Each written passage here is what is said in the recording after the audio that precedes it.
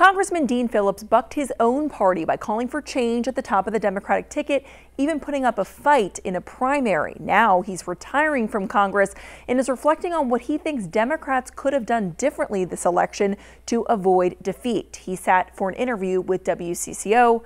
Take a listen. Congressman, which, you know, almost private citizen Dean Phillips, how are you fe feeling about this transition for you? Well, you can imagine, Caroline, it's bittersweet because this was, I mean, to any outsider watching the activities in Congress, I would imagine most think that it's insufferable and miserable and no camaraderie. Uh, but the reality is it's been joyful. Uh, mm -hmm. Great friendships on both sides of the aisle. You know, helping people here in Minnesota has been extraordinary, a great blessing to me. I've been helped by so many in my past. To, to pay it forward was a blessing. Uh, so it's bittersweet because the dysfunction, which is really what I want to spend the rest of my years trying to address and at least uh, shine light on, uh, that's frustrating. I'm mm-hmm. not going to miss that one bit. Mm-hmm. But I'm going to miss the people and the responsibility. And public service is something I want to inspire young people uh, and more of us, everybody watching right now, to do something you know, to serve our great state and great country because we need it.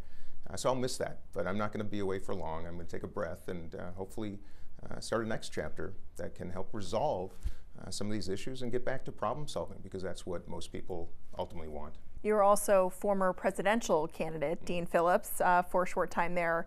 Let's talk about that a little bit. So, when you launched that campaign uh, to mount a primary challenge against uh, Joe Biden, uh, your bid was at best dismissed as a vanity project and at worst ridiculed by members of your own party. So, now that the results are in at this election, do you feel like saying, I told you so? It would be not human to not have some of those feelings, of course. But that's not my style, and grievance has never served me well. And to those who said things, including some elected officials right here in Minnesota, uh, they knew the truth when they were saying those things, and they've got to live with that. So, um, and we didn't win. You know, so this notion of a victory lap or I told you so, that doesn't serve any purpose. And I think, if anything, I think we have to get back to the time where we remembered our golden rule, you know, the things we learned in kindergarten, mm. which is don't gloat, don't demean your neighbor, uh, don't be offensive and disrespectful, do the opposite. So mm. I want to try to model the behavior that I think the country needs, and that means no victory lap, because A, we got crushed, and B, no, I told you so, because um, I didn't succeed. Mm. Uh, but that means I'm going to keep trying. But you were the first, before you even, you know, formally announced a bid, you were the first Democrat, I believe, that publicly saying that Joe Biden should not run for reelection. That was in July of 2022. That is two years before the drumbeat of Democrats after that debate performance saying that he ought to step aside. So, with that in mind, do you really think truly now, with that hindsight, that if there was an open primary, a Democrat would be packing up to go to the White House, or were the political headwinds in this election, stubbornly high prices, a border crisis, uh, just too big to overcome? That no matter who the Democrats had chosen potentially in a process like that, that you would be in the situation you are in today?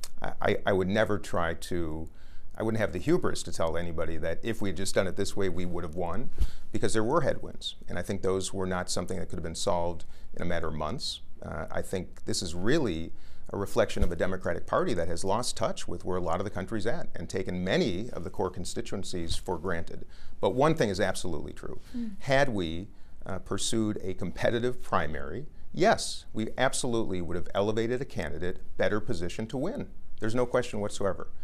And furthermore, what really troubled me when I did end up running, which I didn't do until I tried my darndest to call attention to A, the issue. I made private calls to candidates who were much better known than I, who were ready to enter a presidential contest with the support and network in place. Uh, and I made public calls for others to join this uh, primary. Uh, none of them were heeded, and I know why now because when you take that chance, when you jump into a primary against an incumbent, you're probably going to never have a chance again because the party will attack you.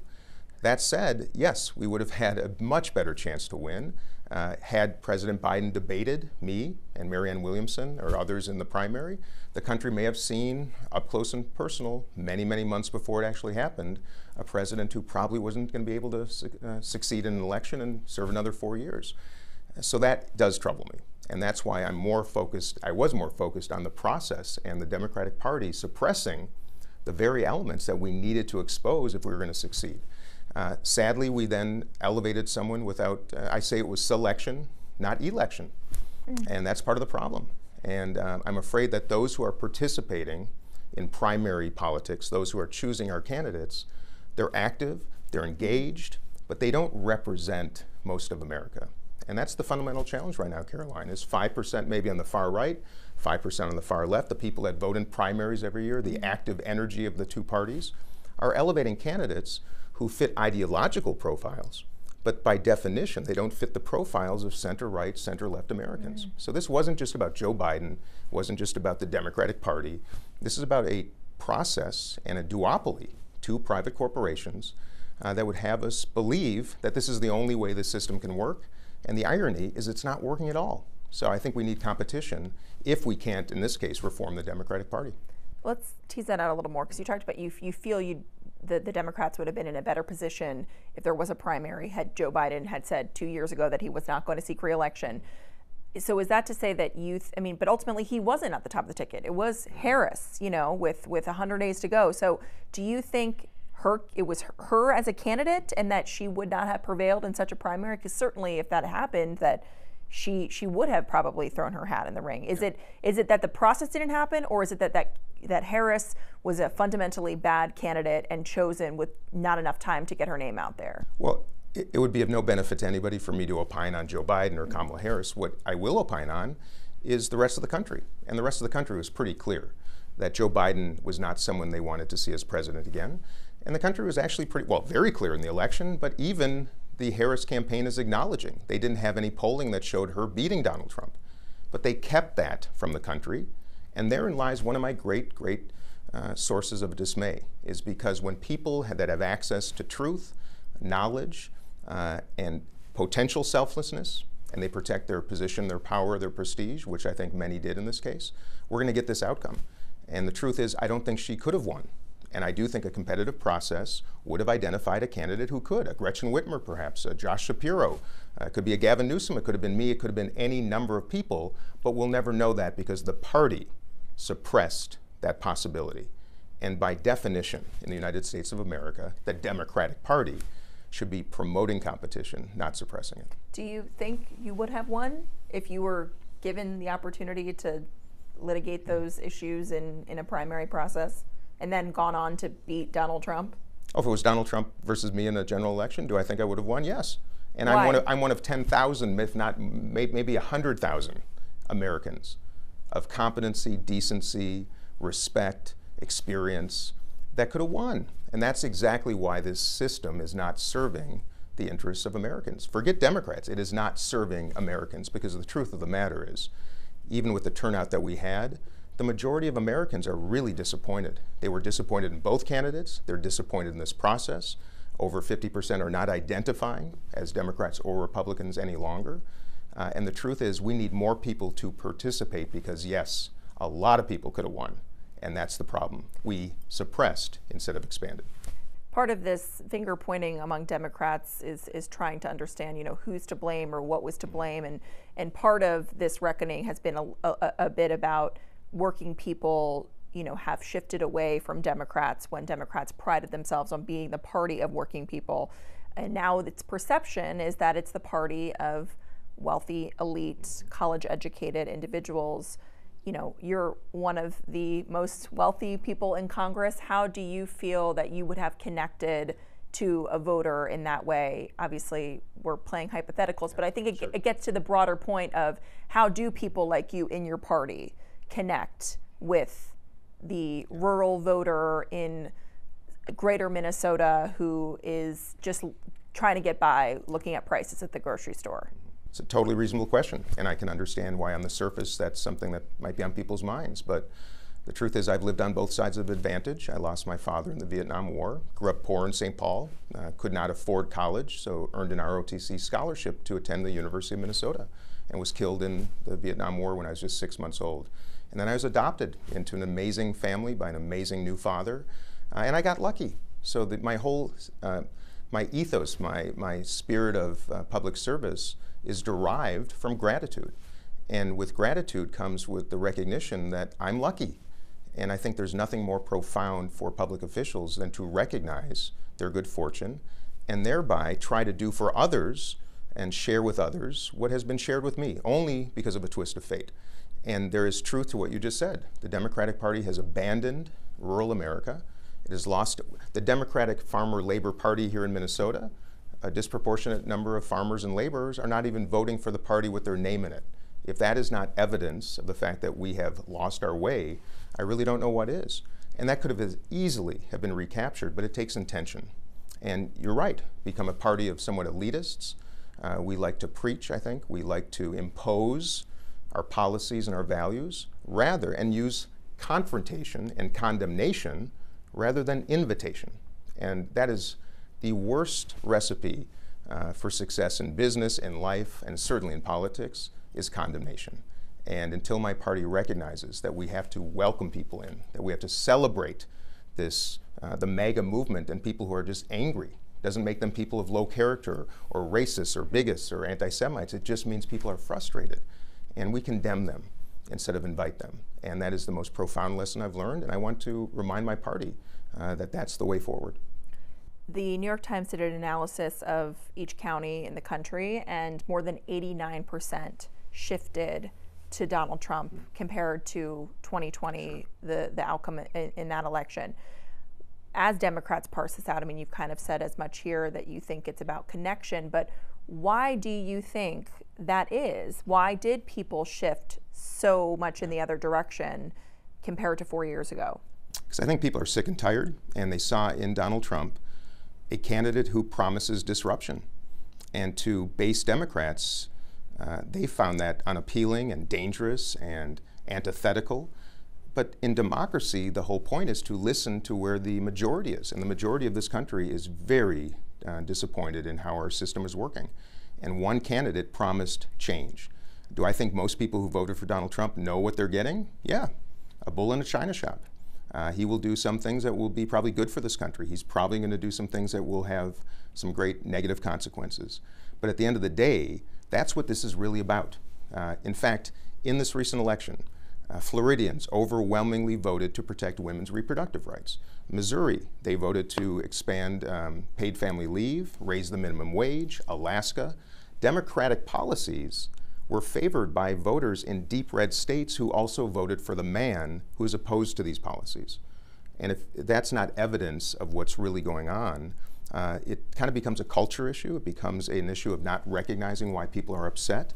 It does not mean the Democratic product is that terrible, uh, but it means the packaging, the messengers, uh, and frankly, the system uh, that is suppressing competition, I think, is responsible. And and I give Donald Trump credit for recognizing where most of this country is at.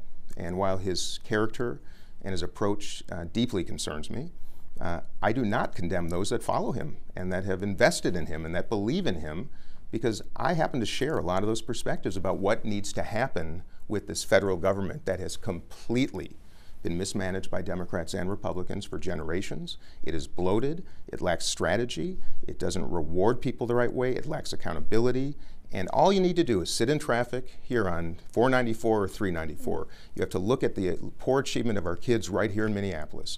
Look at crime. Look at our southern border. Look at the issues facing this country, and we can't pass a budget in Congress. And people are uh, sick and tired of it. Mm-hmm. And I get it. So I understand why people want someone to, in some ways, metaphorically, shake things up. And I think that's what this is about. Democrats and Kamala Harris wanted to kind of maintain the status quo. Mm-hmm. And that to me is antithetical to where uh, this country's at right now. You talked about the message and the messenger and potentially a, a disconnect there with what Democrats you know stand for and how they're telegraphing that to Americans. But so much uh, of this message of this campaign was Donald Trump is a threat to democracy. That's what came from Democrats across the board. So was that uh, that that didn't work? So was that a was that a fundamental misread of the electorate to frame it as such that Donald Trump is a threat to democracy? I think so. And I think he is a threat to some of the elements of our democracy. He's clearly threatening our democratic institutions. In fact, he's very public about wanting to dismantle a number of them. Uh, but the notion of using that as your primary approach, which by definition means you are condemning the people that support him as anti democratic or threats to democracy, mm-hmm. And, and when you demean someone in politics, it's like demeaning someone in your own household or a family member or a friend. They're going to be angry about it. And I think that anger only helped Donald Trump in, in many, many ways. And the fact of the matter is, the way that my party approached this recent primary was terribly anti democratic. Uh, next door to us in Wisconsin, Ben Wickler, you know, taking my name off a primary ballot, and we had to appeal to the Supreme Court of Wisconsin that overturned it. Mm-hmm. North Carolina, uh, uh, Florida, same thing. And it wasn't well reported, but the truth is, uh, no party has a monopoly on protecting democracy. And I would encourage my own party to take a look at the mirror right now because the way it conducted itself in this past election early uh, was, I think, uh, reprehensible. Uh, with all that said, Kamala Harris believes in the foundations of democracy. Uh, Donald Trump, I don't believe, does. And that's why I hope he surrounds himself with uh, advisors that recognize the consequences of uh, some of this destruction and a Congress that will show some degree of independence when necessary to ensure that more than anything else that the Constitution is upheld. The oath is to the Constitution, not to a president, not to a party what I'm hearing in your kind of take on the postmortem, if you will, is that Democrats, you know, were making charges of his being a threat to democracy, yet they abided by this undemocratic process, that they wrongfully condemned Trump voters as as uh, bad people, um, and that that the Joe Biden and his age was a was a handicap from the start, and Democrats should have woken up to that sooner. Correct me if I'm mischaracterizing any of that. I, th- I think you're right. Okay. You know, by the way, threats to democracy are not just limited to the institutions of democracy. A porous southern border is a threat to democracy. Mm-hmm. Uh, having tens of millions of Americans barely able to make ends meet is a threat to democracy. Uh, having low performing students throughout this country because of underinvestment mm-hmm. in education is a threat to democracy. Mm-hmm. These are all threats to democracy. And that's why I say no party has a monopoly on protecting it. And that's why I am encouraging both parties to really reflect on where they're taking this country right now. And for those tens of millions of Americans who probably feel like I do right now center right, center left, reasonable, common sense people who are dismayed by what we're seeing.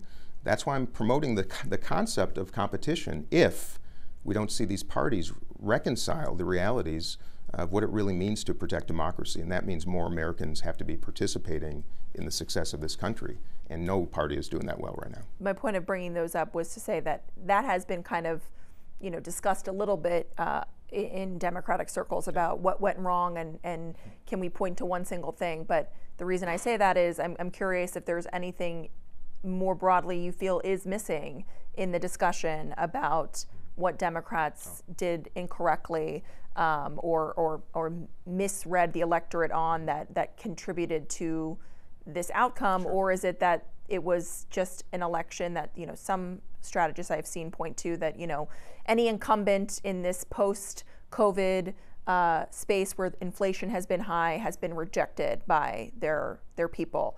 Um, is that a, a fair assessment yes. in your view? I believe, as I was trying to do a year and a half ago, call attention to the two things that I really was hearing all around the country, including right in our backyard in my own district, that was on the front of people's minds, uh, which were the economy, the microeconomy. Yes, the macroeconomy doing quite well, and we can make the argument that we recovered from COVID more quickly, that our interest, I'm sorry, inflation was actually lower here than most OECD countries.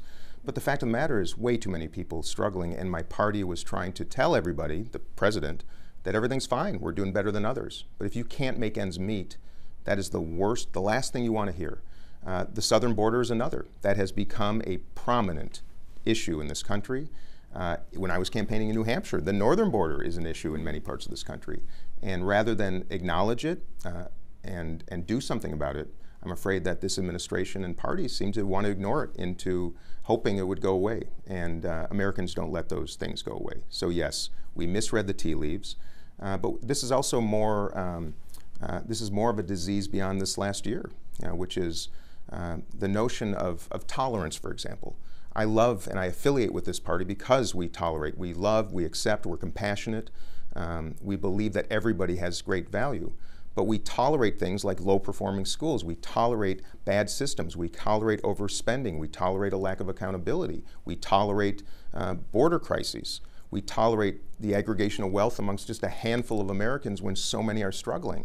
And that tolerance in my party uh, is reaching a point where I think it's going to break us if we don't do something to remind Americans what we stand for and open our ears to the realities. Uh, because we will not be succeeding in national elections uh, with the current people in place, with the status quo pursued, uh, and with a policy platform that is increasingly not serving the needs uh, of Americans. On the tolerance point and, and what the Democrats stand for, who belongs in the tent, I'm curious if you have any thoughts about kind of the um, inter-party war, if you will, over Congressman Seth Moulton um, and you know Elissa Slotkin, who won as a Democrat in a Trump, a state Trump carried Michigan, you know, said that Democrats obsess too much about identity politics and don't leave space for kind of a continuum of the progressive flank and, and the center left flank. Do you think that that's you know a, a real problem within the party? Frankly, it doesn't matter what I think. You know, numbers don't lie. And I would just ask anybody who, who wants an answer to this question to look at what white rural Americans did in this last election. Look at who they voted for. Uh, look at what they're saying. And all that matters is how they feel, not about how I feel or what I think. It's what Americans are feeling and thinking. And yes, in many cases, white Americans, white rural Americans in particular, feel that they've been totally abandoned by the Democratic Party. Uh, they believe that identity, uh, more than anything else, uh, is what um, uh, drives this party. Uh, they don't feel a home. They don't see themselves reflected in it. They see themselves condemned and demeaned. Uh, and it's reprehensible. In fact, it's, it's, it's the worst thing for Democrats to do because this is supposed to be the party of inclusion, tolerance, welcoming. And as someone who went to a MAGA rally in Rochester, New Hampshire, when I was campaigning for president in the primaries, I was shocked at how nicely I was greeted with hospitality and friendliness and kindness. And I saw diversity in this crowd that really surprised me. A lot of people had never been to a Trump rally. And the message to me was the MAGA movement was much more welcoming and invitational than I ever imagined. And I'm afraid the Democratic Party is actually the one that is becoming quite exclusive. If you don't check the boxes, you don't look or pray or think the way that the party wants you to, that there may not be a home for you. And that's fine. If, this, if the Democratic Party wishes to pursue that strategy, it's a free country but it won't be a party that will succeed. And therefore, those of us, center right, center left, pragmatic, common sense folks, are going to have to do something. Would you run for another political office? I would never say never. I'm not going to run for governor. I'm not going to run for Senate here in Minnesota. There's no, no question. But I do want to play a role. I'm going to take a breath for a little bit. Uh, and some have asked, will I come back to politics? And I think the bigger question is, will politics come back to us, or are we going to have to do something? And I'm going to be assessing the next number of months uh, as to how I can play some role. But I'm not going to be quiet. And I didn't go through this, and I didn't, uh, I didn't uh, benefit from the blessings of this state and community and this country uh, to sit quietly. And um, I've learned enough now from my time in Congress about what doesn't work and why, and how money in politics and perverse incentives and self preservation are all that matter to most people. Uh, and I recognize where most of the country is at, and they're good people you know, on the right and left that just want things to work. And I do want to play a role somehow, some way, and someday in seeing us at least make some progress towards that end. So, not a bid for U.S. Senate in Minnesota or governor in Minnesota, but in 2028 there will be an open primary for Democrats. Is that to say that you would consider running for president again? I think it's unlikely, but I will never say never. And I absolutely want to play some role in encouraging, promoting, mentoring, and inspiring young people to join and to participate and for other candidates to get on that stage.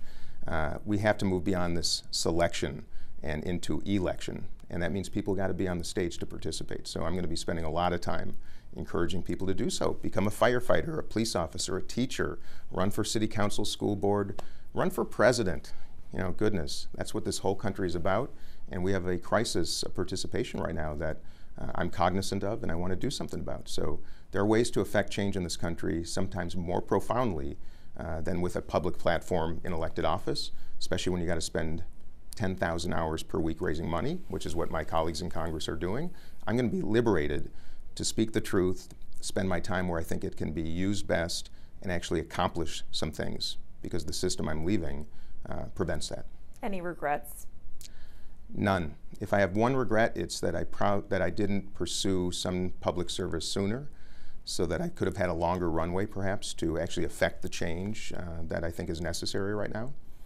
And of course, there are some moments that I would take back and some things I said, and maybe a vote or two that, in hindsight, if I'd known more, I would have changed. Of course, I'd be kidding you if I didn't uh, acknowledge some of the missteps.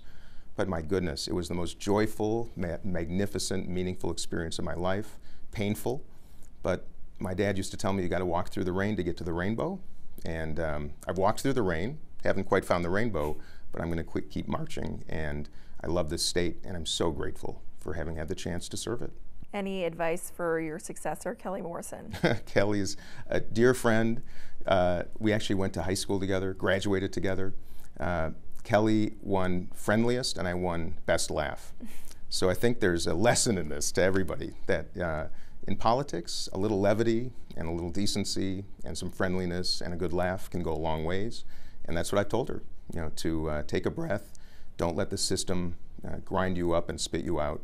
Uh, be resolute, uh, speak the truth, and I promise you the rewards will come. And I think she's going to be an extraordinary uh, representative for the third district and a rising star in our party.